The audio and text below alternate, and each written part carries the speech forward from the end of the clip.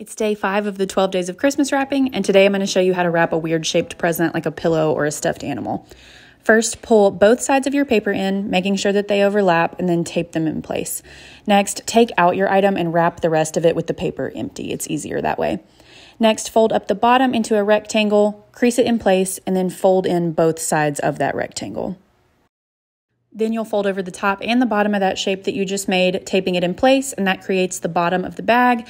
You slip the item inside, and then fold over the top, tape it down, make sure all your tape's on the same side so that the front looks clean, and you have a bag.